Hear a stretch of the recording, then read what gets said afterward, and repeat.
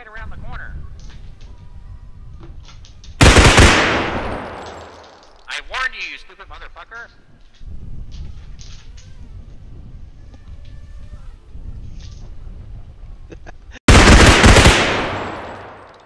I warned you.